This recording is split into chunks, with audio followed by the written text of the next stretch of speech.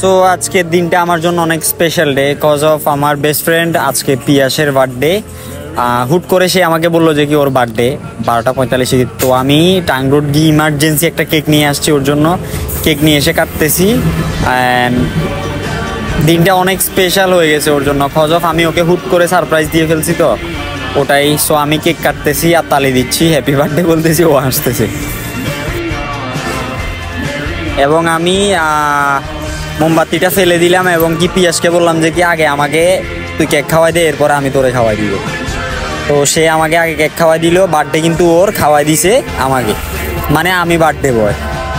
আবার ক্যামেরার দিকে তাকায় দেখতেছে, ওরা স্মার্ট লাগতেছে। না না পিয়াস, তুই অনেক স্মার্ট ঠিক আছে। তুই জিম বডি এবার আমি খাওয়াই দিচ্ছি, এরপরে আমরা যারা আছে অসহায় মানুষ তাদেরকে আমরা খাওয়াই দিব, ওর হাতে ও নিজে খাওয়াই দিবে। সো এখন পিয়াস যারা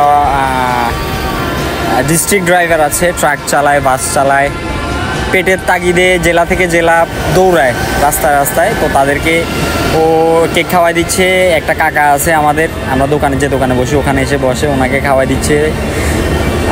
কাকা বলতেছে, কিসের কেক? তো পিয়াস বলল যে কি, এটা ওর বার্থডের কেক। তো এরপরে আমাদের আরেকজন ভাই আছে, এর পাশের দোকান, ফুটওভার ব্রিজের নিচে, ওখানে গিয়ে আর পিয়াস ওদেরকেও কেক খাওয়া দিচ্ছে। তো আজকের দিনটা পিয়াসের জন্য অনেক স্পেশাল আমার জন্য অনেক স্পেশাল কজ অফ আমার বেস্ট ফ্রেন্ডের আজকে বার্থডে সো সবাই ওর জন্য বেশি বেশি করে দোয়া করবেন। আল্লাহ যাতে ওরে বেশি দিন বাঁচায় রাখে, এটাই। সো ঠিক আছে, সবাই ভালো থাকবেন, সুস্থ থাকবেন, আল্লাহ হাফেজ অ্যান্ড আসসালামু আলাইকুম।